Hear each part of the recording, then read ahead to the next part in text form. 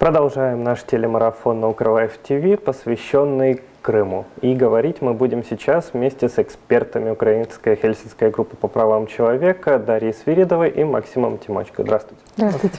И сразу хочется у вас спросить, ведь Украинская Хельсинская группа известна своей поддержкой политзаключенных, и вот вроде бы где-то сейчас в Киеве, может быть даже завтра будет какая-то акция в поддержку. Расскажите подробнее.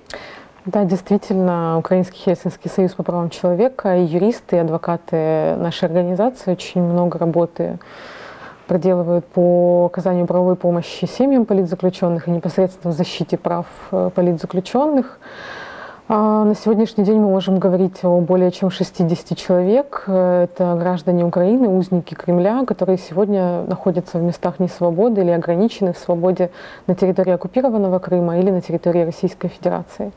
А завтра действительно э, в час дня возле администрации президента будет проходить э, акция, которая инициирована объединением родственников политзаключенных Кремля.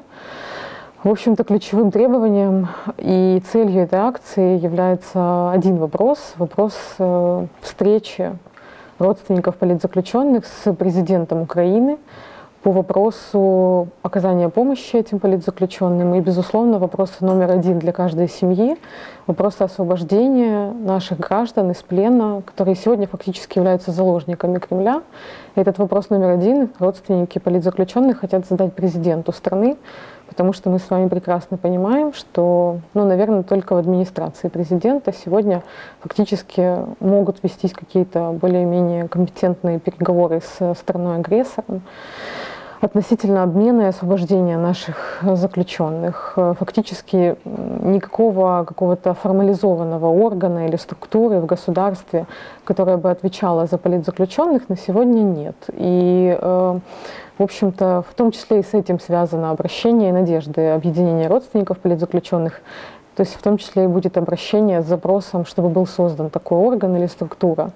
Э, важно отметить, что сегодня при Министерстве по вопросам временно оккупированных территорий и э, внутренне перемещенных лиц создан отдел по защите прав политзаключенных, но он только начинает свою работу, и на него мы возлагаем, безусловно, большие надежды по координации работы всех государственных структур органов власти, которая, по, по той работе, которая будет нацелена на помощь и защиту политзаключенных наших. Ну, мы помним, что вот по большей части сейчас все вопросы политзаключенных решаются, можно сказать, по произволу той стороны, вот как, например, возвращение Ахтамыча и ГОСа. Вот все мы помним, было принято вот абсолютно как бы независимо от действий украинской стороны. Тем не менее, я помню, что акции проходили тоже в поддержку и напоминаем, насколько это важно участвовать в подобных акциях. Да. Ну и основной темой, которую хотелось бы обсудить с вами, это вот все важные такие административные, юридические вопросы для людей, которые продолжают проживать в Крыму, но тем не менее хотят каким-то образом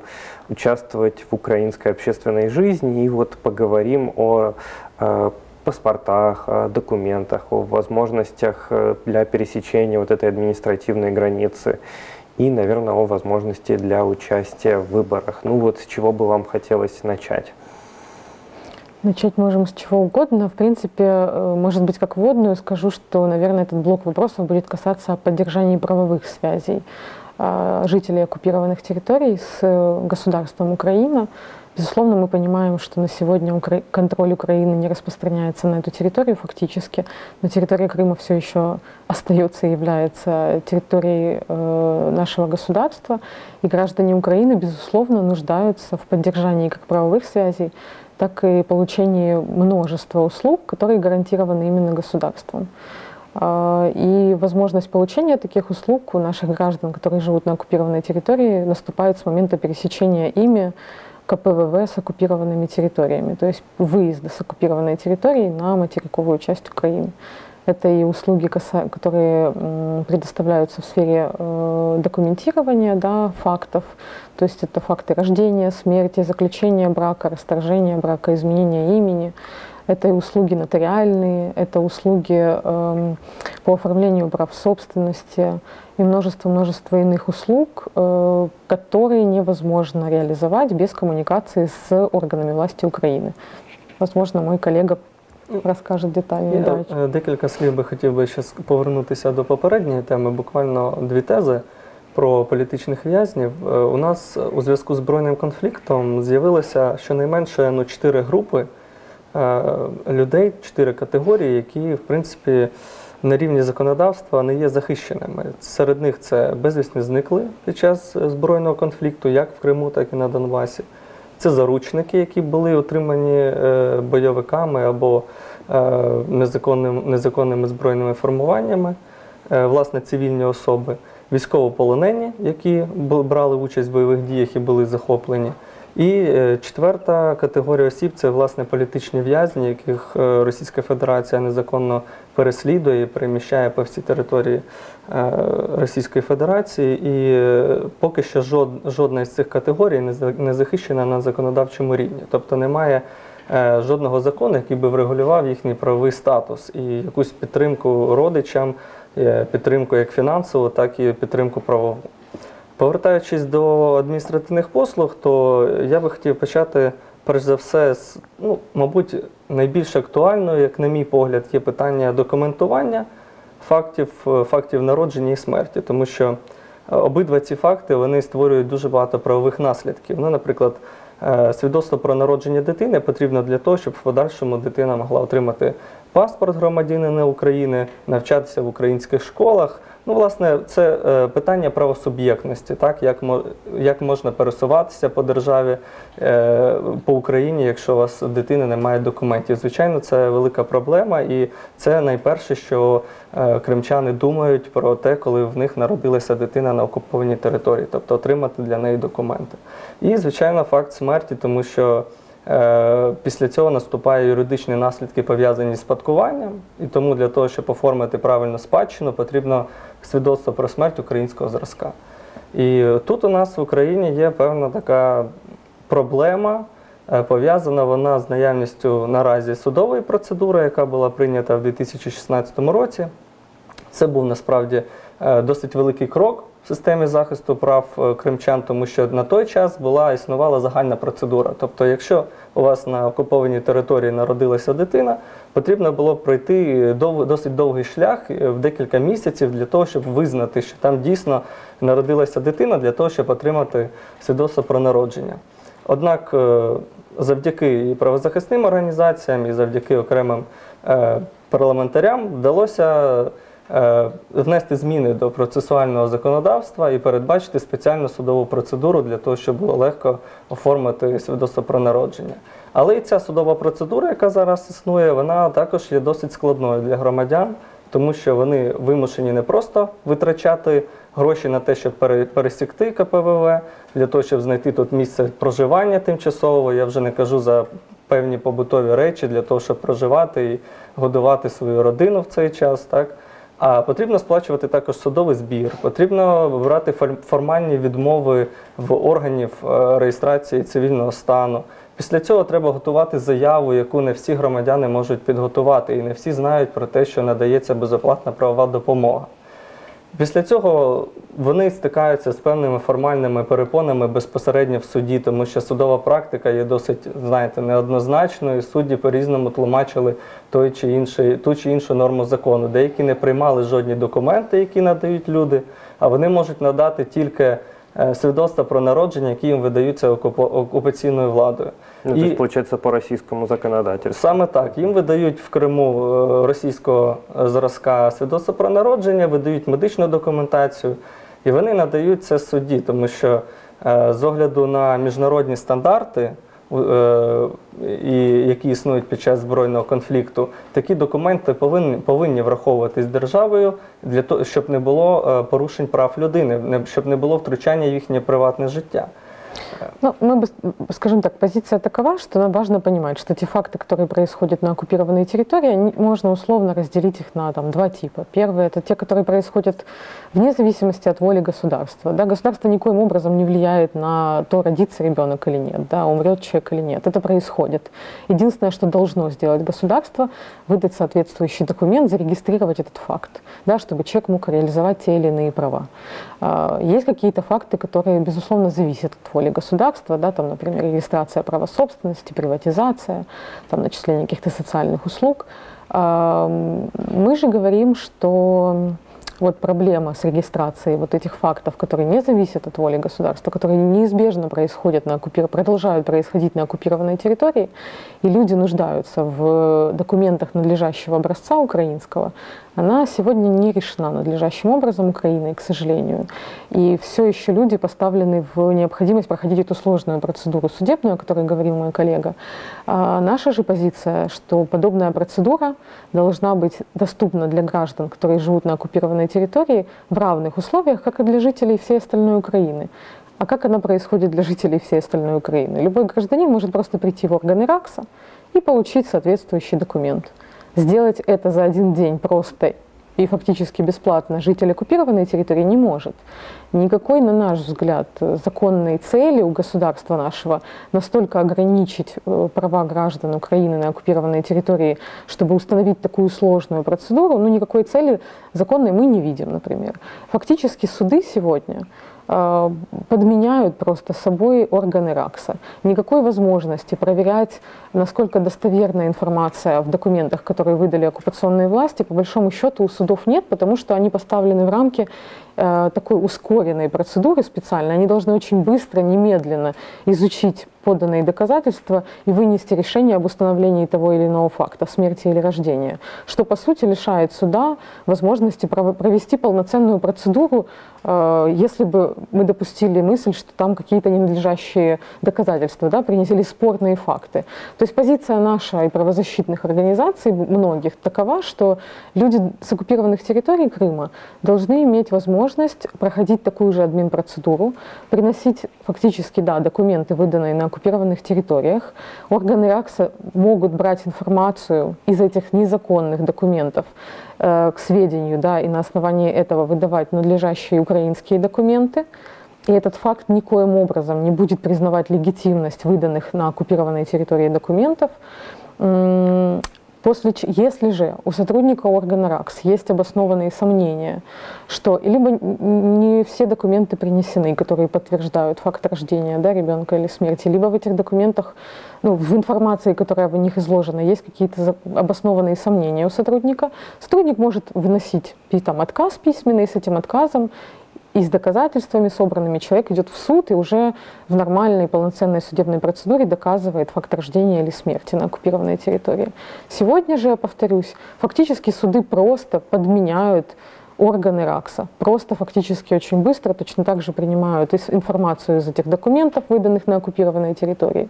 И э, после чего человек фактически идет и получает в органі РАКСі, РАКСа эти документи. І, і, і сама судова процедура не є однаковою. Тобто один суддя може розглядати одну і ту ж справу зовсім по-різному. В одній справі він змушує е, заявників е, допитати свідків, надати додаткових, які підтвердять, що людина народилася або інша людина померла. Е, в деяких випадках можуть змусити е, там провести експертизу на батьківство для того, щоб підтвердити, що ця дитина дійсно від цих батьків.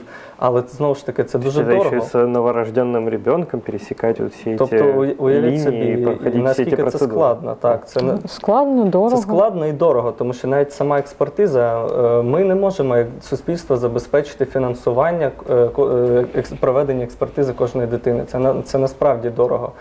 І звичайно, що така судова процедура зараз є досить складною. Я вже не кажу за саму підготовку документів. Ну и, в общем-то, вся суть проблемы сводится к некому политическому решению. То есть мы же не оспариваем того факта, что Россия страна-оккупант не оспариваем. Это установлено в законодательстве нашем.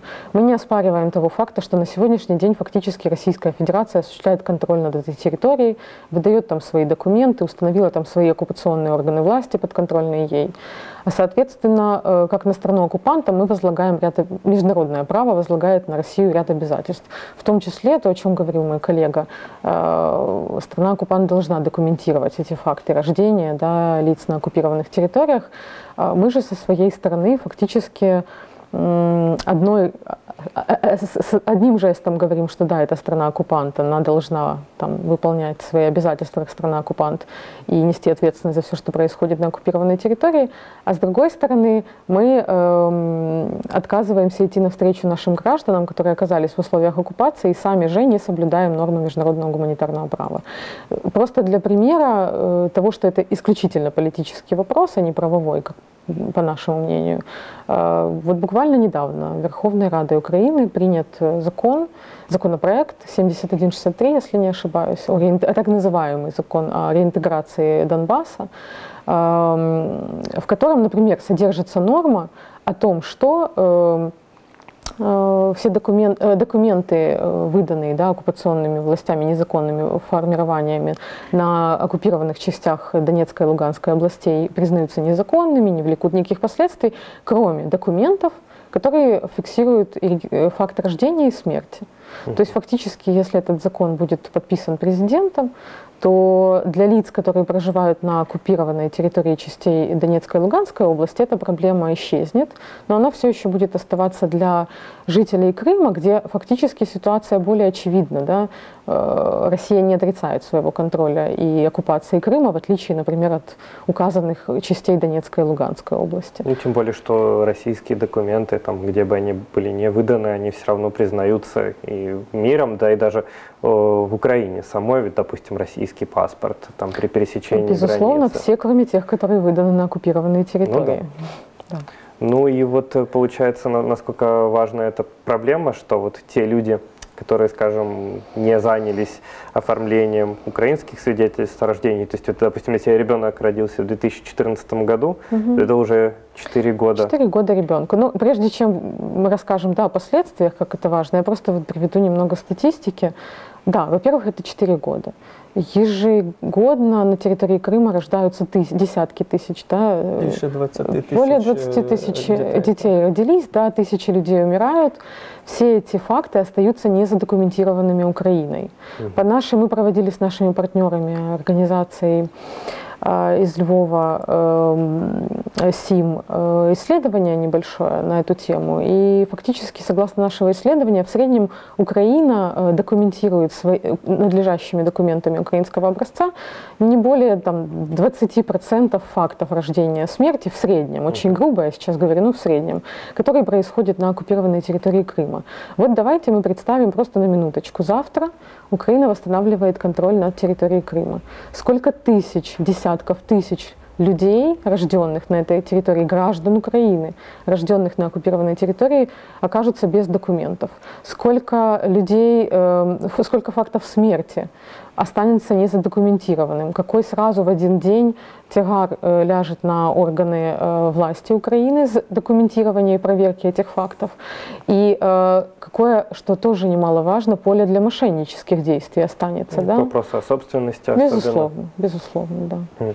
Ну и вообще, я так понимаю, если это затягивать, то там уже, скажем, 15-летний ребенок, он же не сможет получить, наверное, уже свидетельство о рождении, потому что он уже, скорее всего, получит российский паспорт э, в Крыму и российское гражданство. То есть вот как там в случае, если вот разрешение этого вопроса затянется на долгие годы, то как тогда э, этим людям снова возвращать себя в Украину? То есть они уже будут расти с осознаванием того, что они ни, никак к ней не относятся. Звичайно, ситуація, про яку ви зазначили, якщо дитині вже буде, припустимо, так, 15 років, звичайно, це все буде вже не так просто, як зараз, але потрібно розуміти декілька тез. Теза перша.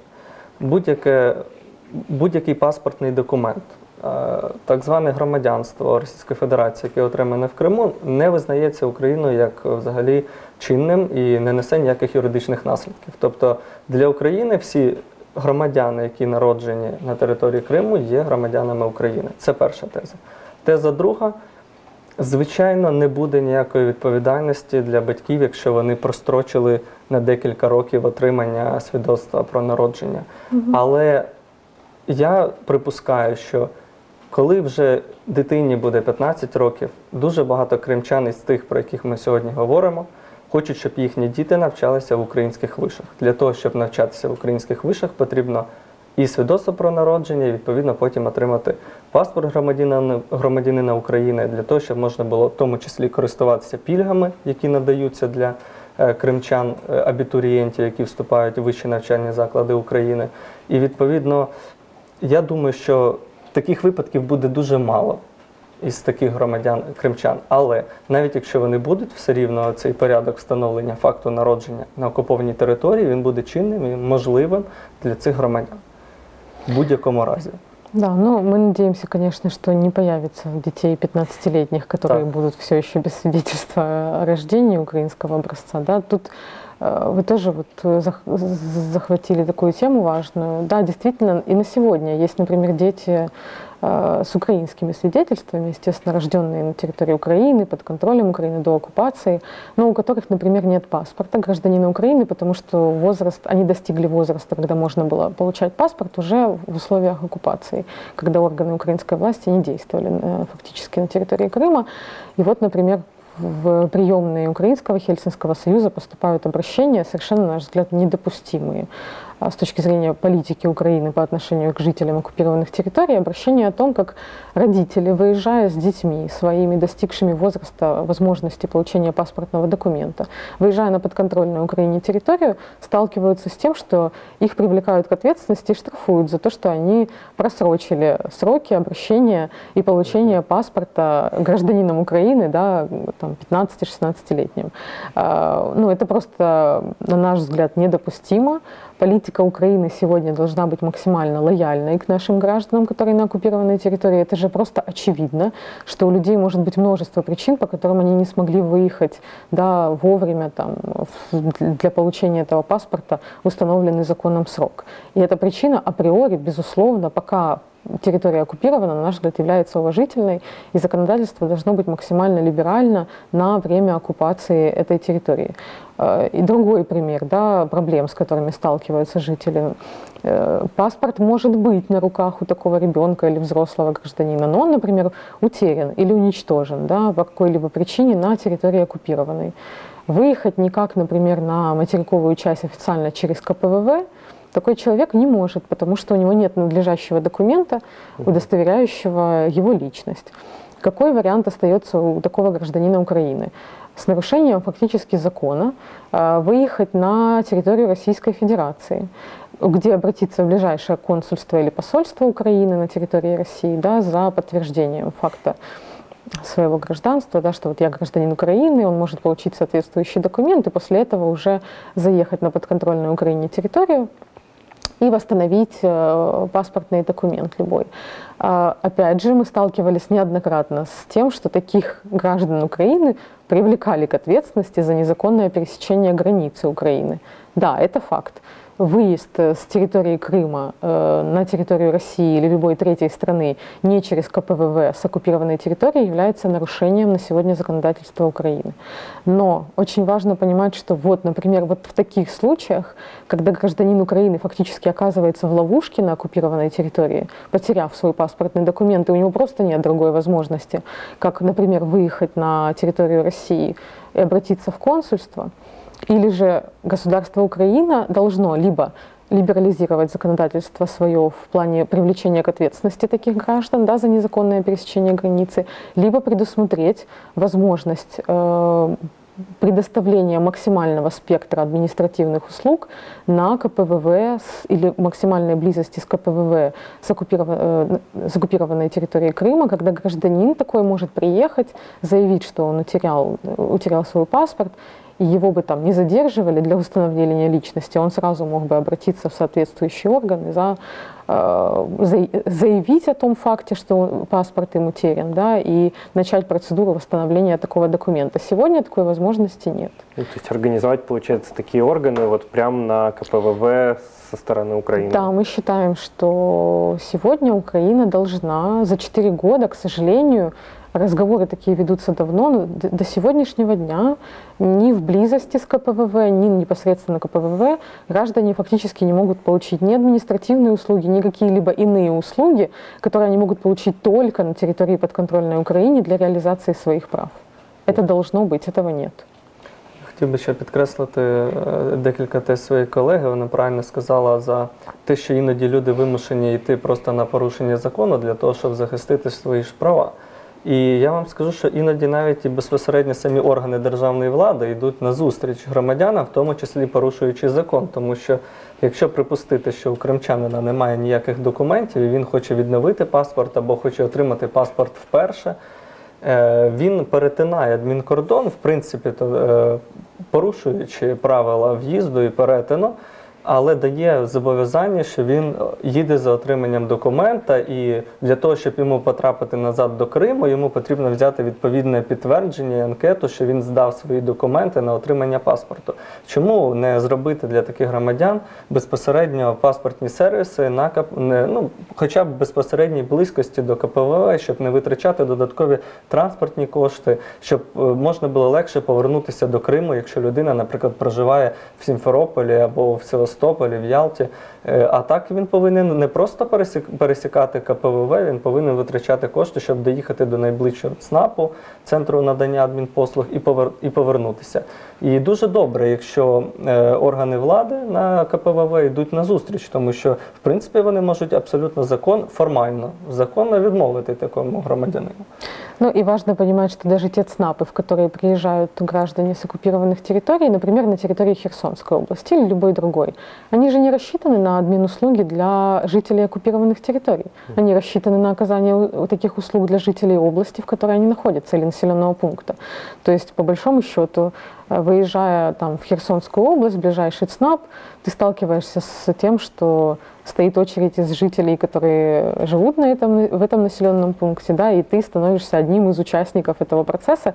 Ни на какие льготные условия и ускорение э, очереди, да, ты рассчитывать особо не можешь, а, грубо говоря, каждый день пребывания на подконтрольной территории, ну, это не, не дешевое удовольствие для жителей оккупированных территорий. Очень часто люди выезжают просто сдать документы, просто забрать документы, оформить там доверенности. И, безусловно, наличие вот такого большого ЦНАПа, даже, я бы сказала, не просто ЦНАПа, Центра предоставления административных услуг, а такого большого схаба, сервисного, сервисного центра для крымчан, которые выезжают на подконтрольную Украине территории за широ- э, очень широким спектром услуг, он не просто необходим, он остро необходим уже долгое время, и нам непонятно, почему на четвертый год оккупации государство не создало таких сервисных центров. Ведь там могут оказываться не только административные услуги, услуги нотариуса, почтовые услуги, да, э, какие-то услуги, связанные там, с получением банка, банковских услуг, да, соци... соци- обращение за э, социальной помощью и много-много других вещей, которые прямо, возможно, не связаны именно с деятельностью центров административных услуг, но как э, острая необходимость для жителей оккупированных территорий, которые выезжают на подконтрольную Украине территорию и хотят приехать в какой-то хороший, большой оборудованный центр и получить там полный спектр услуг, это, на наш взгляд, остро необходимо. И это то, что было бы действительно важным шагом навстречу крымчанам со стороны органов власти України. Простий приклад з приводу нотаріальних послуг. Чому потрібно зробити і також і розмістити державну нотаріальну контору на таких е, КПВВ? Тому що навіть для того, щоб захистити свої права в національних українських судах, е, будь-якому кримчанину потрібно надати довіреність е, юристу, адвокату, своєму представнику. Але він не може це зробити на окупованій території, тому що відповідно будь-які акти і рішення, які видаються е, органами, і в тому числі установами і е, нотаріальними конторами на окупованій території, вони не є чинними. І відповідно, звичайно, довіреність, на якій буде вказано, що, наприклад, місто е, Сімферополь. Республіки Крим, така довіреність в принципі не може бути прийнята українськими судами або іншими органами влади. І люди вимушені, як правило, виїжджати до Херсону або найближчих населених пунктів, де є нотаріальна контора, тільки для того, щоб зробити одну довіреність. Звичайно, було б набагато простіше її зробити на КПВВ, тому що без довіреності не можна, ну в принципі, людина, яка не є фахівцем у галузі права, вона не може захистити свої права ну не тільки в суді, а й в інших органах влади, куди потрібно звернутися, в тому числі, якщо потрібно послуги представника або адвоката для того, щоб встановити факт народження або смерті. Ну и вот хотелось бы подробнее узнать о самих КПВВ. Вот поговаривают, что их вроде бы количество сокращается, и там ну, не самые простые порядки их пересечения. Вот расскажите, что вам известно об этом. На сегодня существует три э, пункта пропуска с въезда-выезда на, на временно оккупированную территорию. Э, Но фактически, да, была информация в СМИ э, о том, что вот органы власти говорили о том, что по статистике один из КП, в одном из КПВ очень маленький поток э, граждан, соответственно, возможно, целесообразно его закрыть. Но э, скажу так, тут вопрос даже Как по мне, ключевой вопрос в надлежащем оборудовании этих КПВВ, в человеческих условиях прохождения этих КПВВ, материально-техническом, санитарном состоянии. И это вопрос как условий прохождения КПВВ самими гражданами, да, иностранцами, лицами без гражданства, да, которые на законных основаниях могут их пересекать, а, так и условий работы э, людей, которые там находятся, да, представителей государств, госпогранслужбы, а, которые ежедневно там находятся сутками. Безусловно, на мой взгляд, сегодня то, как выглядят эти КПВВ, это условия, которые, ну, я скажу даже так, это условия, которые э, унижают человеческое достоинство. И, на мой взгляд, э, вообще КПВВ с оккупированной территории Крыма – это первое подконтрольная Украине некая институция, да, структура и представители органов власти в виде там, погранслужбы, с которыми сталкиваются жители оккупированных территорий, въезжая на подконтрольную Украине территорию. Безусловно, очень важно, чтобы и сервисы, условия прохождения были максимально э, адекватными и максимально отвечали бы э, и, и, и человеческом, не унижали бы человеческое достоинство да, людей. А, проблемы разные есть на КПВВ, возможно, из таких самых э, острых вопросов, к которым к нам вот еще до недавнего времени обращались массово люди, это, конечно, поведение таможенной службы, которая тоже там находится э, в связи с тем, что у нас действует закон, так называемый закон о свободной экономической зоне Крым, которая фактически позволила находиться там и представителям таможенной службы на КПВВ, хотя это не государственная граница, да, напоминаю. И э, до недавнего времени в полной мере действовало постановление Кабинета министров 1035, которое фактически ограничивало провоз э, личных вещей жителями Крыма, ну и лицами, которые пересекают эти пункты, фактически сделало невозможным эвакуацию имущества с временно оккупированных территорий. И несмотря на то, что вот юристами нашей организации в части было отменено это постановление как такое, которое нарушает право собственности граждан Украины и фактически является дискриминационным, да, но несмотря на это, вот долгое время, даже по сегодняшний день, к нам поступают обращения граждан, которые жалуются, что вот Э, нам сказали, что вот нельзя это провести, нельзя то провести, вынудили оставить какие-то из вещей или не пропустили с какими-то из вещей. Да, это не так массово, как было, когда действовало постановление, но эти факты имеют место быть. На наш взгляд, это определенные злоупотребления со стороны представителей органов власти. Более того, мы усматриваем отдельные коррупционные здесь э, действия со стороны представителей органов власти. Безусловно, это не с лучшей стороны характеризует Украину. Это то, с чем нужно работать, та ситуация, которую нужно исправлять. Но не хочется драматизировать, да, но все же вот такие вещи есть. Просто, наверное, ключевая рекомендация к людям, которые пересекают такие КПВВ, всегда требовать от представителей органов власти объяснения э, законных причин тех или иных действий представителей органов власти. Если вас не пропускают или вам с теми или иными вещами требовать исключительно письменного отказа. Ну и, безусловно, всегда можно обращаться в приемные нашей организации. Вот у нас и в Херсоне есть приемная, которая непосредственно нацелена на работу с жителями именно оккупированных территорий. До речі, продовжуючи так, питання перевезення товарів. Це також стосується і перевезення домашніх тварин. Чомусь ну, дійсно ця ситуація дуже актуальна. До нас зверта було ну, дійсно за ці декілька років було сотні звернень е, з клопотанням щодо вирішення питання перевезення домашніх тварин.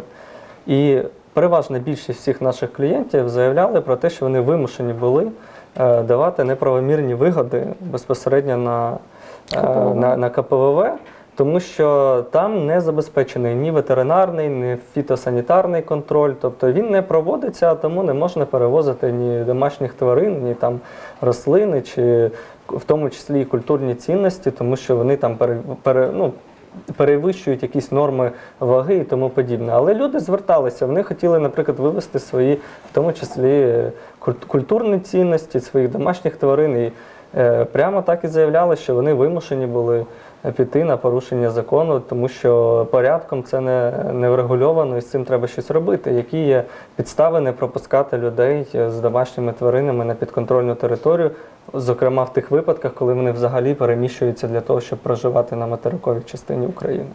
Ну да. и может быть еще один пример, тоже важен для жителей, чтобы они помнили об этом. В первый год оккупации это было массово, так, с такими обращениями к нам поступали эм, э, там, звонки звонки сейчас меньше.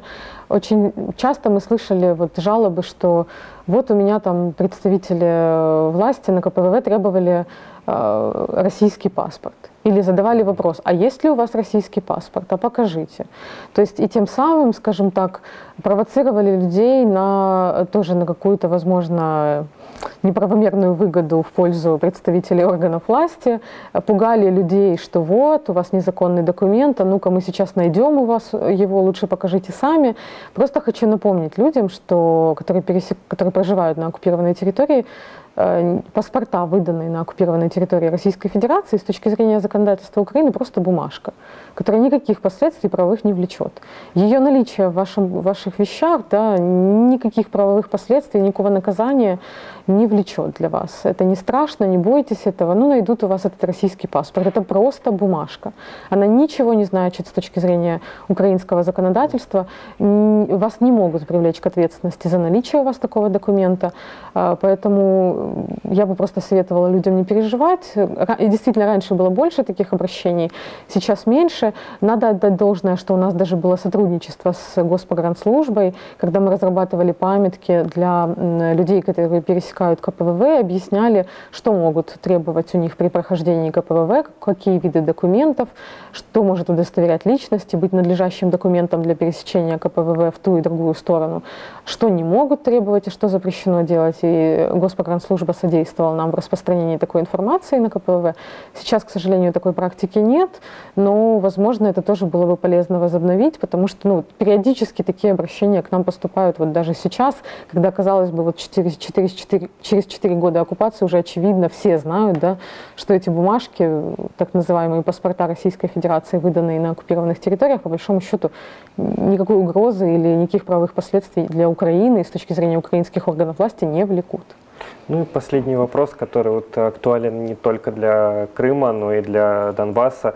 Как участвовать людям, которые там проживают, в, во всевозможных выборах, вот которые вот, скоро уже в следующем году будут президентские и парламентские выборы в Украине, и как в них могут участвовать люди, вот, проживающие в Крыму?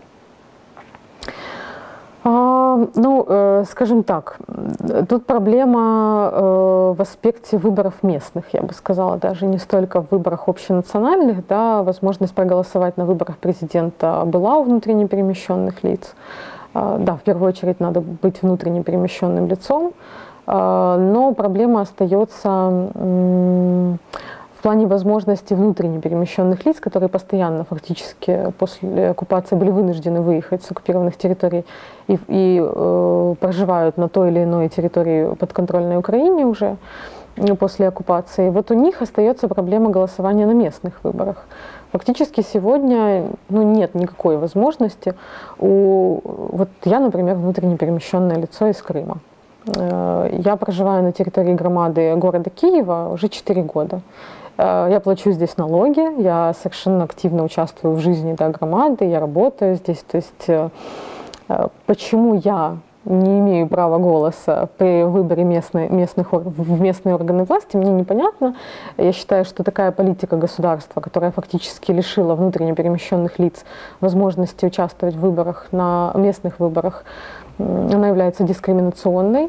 Э, ну вот просто представим себе ситуацию, что вот я, как ВПО, которая проживаю в Киеве 4 года, права голоса не имею на местных выборах, а любой другой человек, у которого, например, есть квартира на территории Киева, но он тут не живет вообще никогда, он такое право голоса имеет, просто потому что он зарегистрирован в квартире в городе Киеве. Или, например, за день до выборов, за неделю до выборов человек регистрируется на территории там, Киева. И он получает это право голоса, а я нет, просто потому что у меня нет регистрации, а только справка ВПО на территории Киев, Киева. Да? То есть сегодня даже в Европейском суде уже находится жалоба нескольких, объединенная жалоба нескольких внутренне перемещенных лиц из Крыма и с Востока, Э, которые вот пожаловались на то, что действительно они лишены права доступа к э, участию в местных выборах, участию в жизни громады.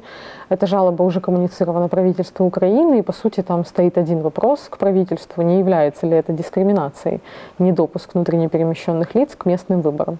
А, мы на самом деле надеемся, что государство не будет ждать э, массы жалоб в Европейский суд, все-таки разрешит эту проблему в ближайшее время на, на законодательном уровне и, и внутренне перемещенные лица, которые фактически были вынуждены оставить территории своего постоянного проживания и уже долгое время живут в громадах на подконтрольной территории, получат право доступа к участию в местных выборах. Так а все-таки те люди, которые продолжают жить в Крыму, там на Донбассе, то есть им приходится выезжать, регистрировать себя как ВПО, и принять участие в национальных выборах? Вот такой вот вопрос. Ну, фактически, да.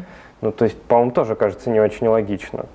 Ну, объективно, э, на практике ситуация такова, что все жители оккупированных территорий, которые продолжают там проживать на сегодняшний день, никакого участия в политической жизни страны в виде реализации своего права голоса не принимают, к сожалению. Сегодня э, не просто не принимают участие в политической жизни страны, да, не могут избирать, э, но э, не могут реализовать массу иных своих прав да, на социальную помощь, на доступ к пенсионным услугам, э, зарегистрировать рождение, смерть, нормальным образом зарегистрировать право собственности. Да. Об этом можно очень долго и много говорить, и несмотря на много разных деклараций со стороны органов власти Украины и, в общем-то, в целом позитивных, позитивных месседжей да, в сторону жителей оккупированных территорий, да, что Крым — это Украина, что там наши граждане, что мы их поддерживаем. Очень часто эти слова расходятся с делом, и люди это видят.